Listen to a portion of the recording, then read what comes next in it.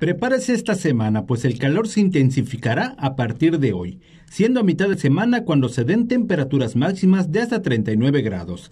Esto debido a un sistema de alta presión situada sobre la península de Yucatán. Y vamos a tener nuestra primera semana de, de calor, de tantas, de una de tantas que vamos a tener a lo largo de esta sequía, y va a ser de prácticamente desde hoy lunes hasta el viernes. La peor parte va a ser de miércoles a viernes y lo peor, peor debe ser el viernes.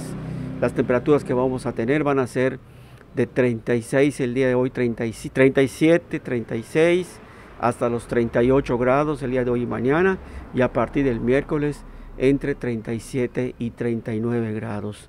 El viernes deberemos llegar de 37 hasta los 40 grados inclusive. El cielo va a estar de mayormente despejado, medio nublado. El viento va a ser del sureste cálido, todo el día prácticamente. En la costa en algún momento será del este en la tarde.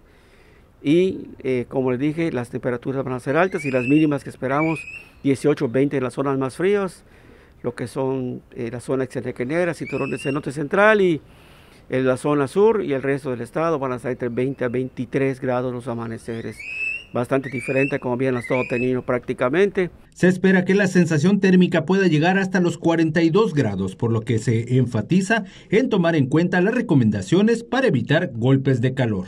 La sensación térmica va a ser mayor eh, de acá, pues lunes, martes, sensación térmica de hasta 30, 38, 40 grados Celsius y ya para el jueves y viernes tenemos sensaciones térmicas de hasta 42, 43 grados, que ya estamos hablando de una sensación térmica bastante elevada.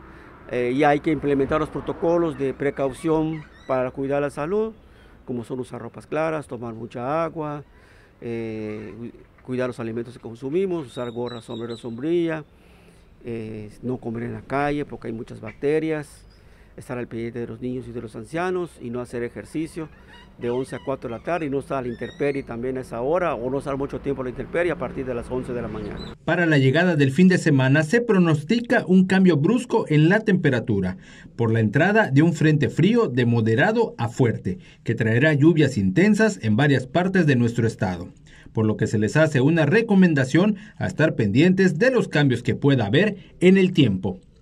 Con imágenes de David C. para Noticieros Telesur, Jesús Canul.